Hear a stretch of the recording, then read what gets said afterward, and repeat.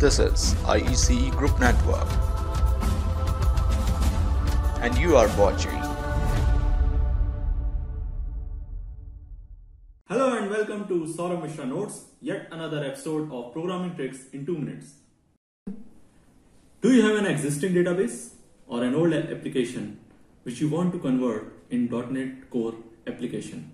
If you are from a .NET framework background, you will say, I will go for a EDMX file. But my friend, in .NET Core, there is no such way to create a EDMX file. So now the question comes, how you can achieve this?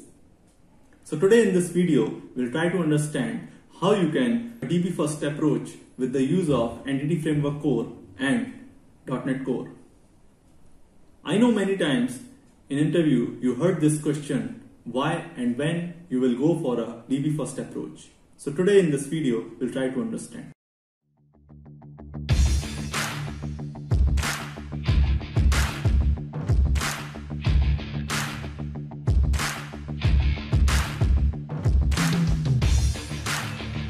Why DB first? So the answer is if you have an existing database and you want to utilize its tables, stored procedure and views, you can go for DB first approach. Now the question comes how we can implement DB first approach in .NET Core. So you can see in front of me one .NET Core application is there. So I have one web API and I have one DB layer. So it's an empty application currently. And you can see I have one database called Fruit Veg DB in this database, I have only one table called product master. So you can see I have some data here. So I'm going to click on the view data and you can see I have this uh, data already and I want to utilize this tables and everything into my .NET Core application. So for this, I have to create and install one NuGet package application which is Microsoft Entity Framework Core.SQL Server so I am going to click on the install button and click on the OK button now. So you can see in the packages folder, this Entity Framework Core SQL Server is there. Now in the next step, with the use of package manager console, we will install one package. So if you want to install any package, command is install package and then we will install Microsoft.Entity Framework core.tools. You press enter and you can see your package installer is started. So you can see in the DB layer project you have two dependencies are there which are installed from NuGet package.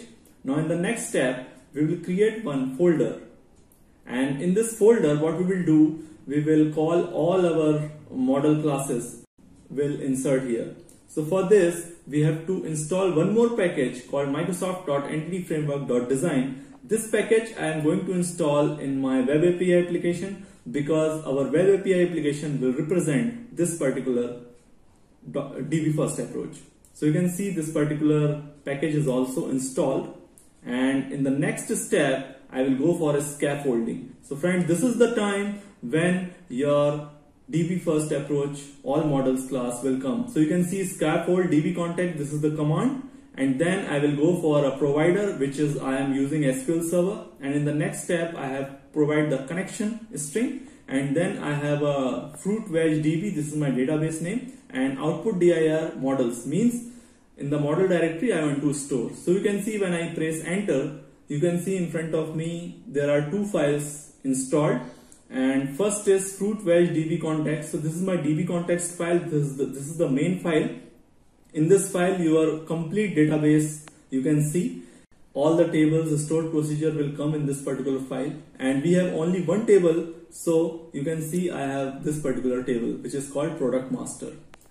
So this is the way you can convert your existing database or existing things in the DB first approach in .NET Core because there is no such concept of EDMX. You have to convert in a model classes. So if you like this video, please share with your friends. And in the next video, I am going to talk about how you can call your web API to your database. Thanks for watching. Happy programming.